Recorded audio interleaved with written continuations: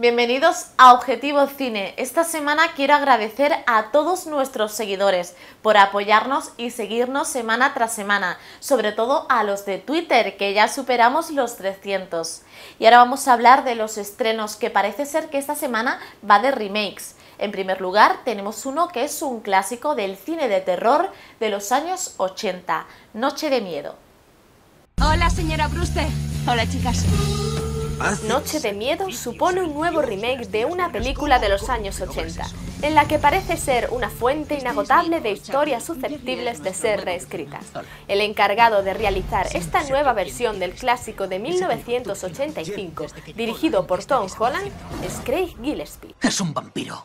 Le es demasiado crepúsculo.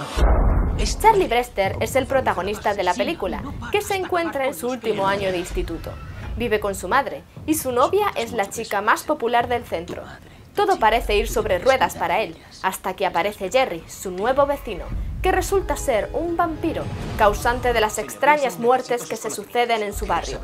Ya que nadie cree a Charlie, este tendrá que enfrentarse por sí solo a esta amenaza.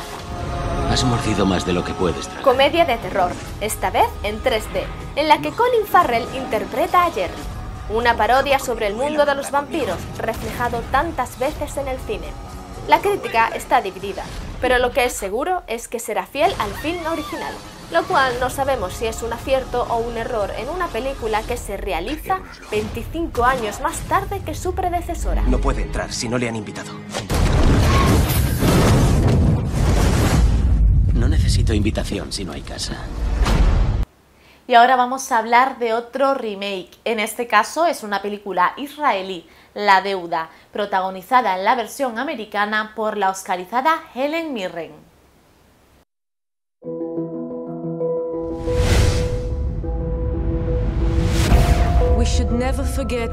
La Deuda es un remake de una película israelí de 2007 con el mismo título, dirigida por Asaf Bernstein. La dirección de la versión americana ha sido asumida por John Madden y en la reescritura del guion ha trabajado Matthew Baum.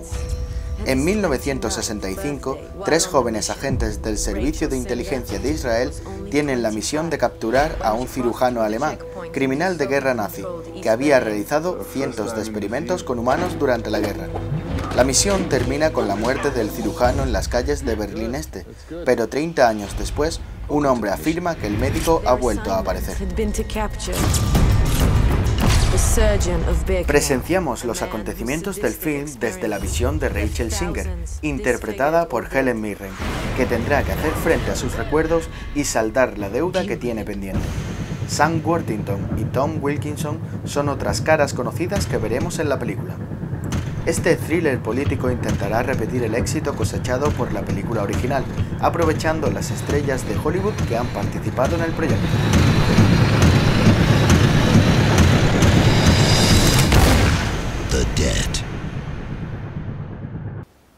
Por último, vamos a hablar de una película francesa que nos llega con tres años de retraso respecto a su estreno en el país vecino.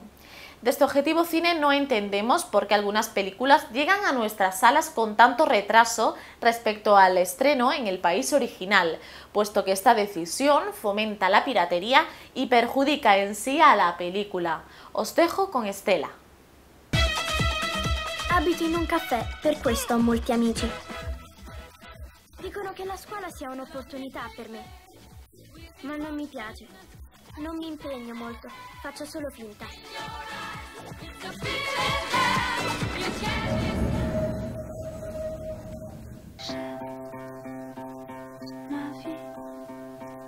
I miei genitori non sono di nessun aiuto. Non sanno neanche che classe faccio.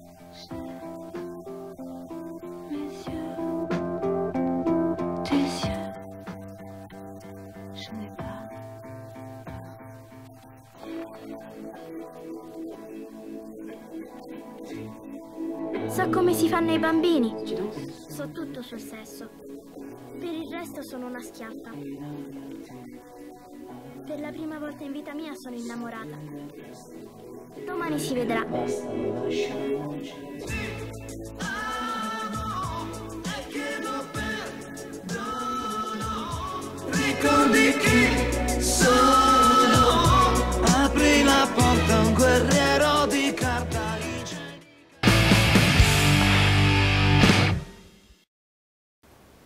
Y ahora en nuestra sección de críticas vamos a hablar de una película de culto, que además es una de las más conocidas de la historia del cine. Os dejo con el gran Lebowski de los hermanos Cohen. Un tipo llamado Jeff Lebowski. Al menos ese fue el nombre que le dieron sus amorosos padres, pero nunca supo muy bien qué hacer con él. Este Lebowski se hacía llamar el Nota nos encontramos ante una de las mejores películas de los hermanos Cohen, aunque esta distinción no fuera respaldada por su recaudación en taquilla durante el estreno en 1998. Este hecho no ha influido en que se haya convertido en una de las películas con más seguidores en la historia del cine. El principal atractivo reside en el propio protagonista de la cinta, el Nota, interpretado por Jeff Bridges. Este personaje no acoge el papel de protagonista al uso, sino que se podría decir que es el antiprotagonista por excelencia. El nota no tiene ninguna meta en la vida, ni ninguna intención. En ningún momento toma una decisión sobre qué camino seguir.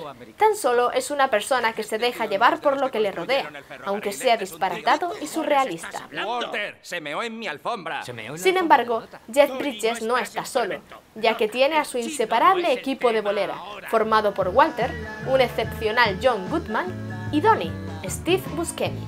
Aunque el testimonio de este último se quede en un segundo plano detrás de la agresiva impulsividad de Walter. Esto es lo que pasa cuando das por culo a un desconocido. La historia parte de una confusión por el apellido Lebowski y un secuestro. A partir de este momento, el nota se sumerge en una serie de situaciones que le buscan y no le dejan descansar durante toda la película. El argumento es un eterno zigzag que cruza la comedia con la mediocridad lo hilarante y la aceptación de un sueño americano imposible. En el terreno visual destaca el baile al son de los Gypsy Kings de Jesús Quintana y en especial el sueño psicotrópico del Nota, en el que crea una especie de resumen de todas las metas en la vida del protagonista, mientras que lo mezcla con referencias históricas como la figura de Saddam Hussein y su pasión por el mundo de los bolos.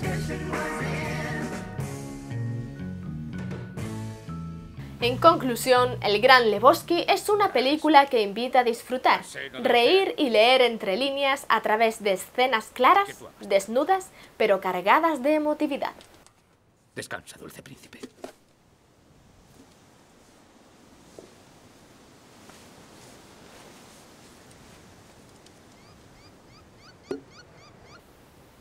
Ya estamos en la recta final del programa de hoy de Objetivo Cine. Tan solo me queda recordaros que estamos durante toda la semana a través de las redes sociales Facebook, Twenty, Twitter y nuestro blog objetivocine.blogspot.com.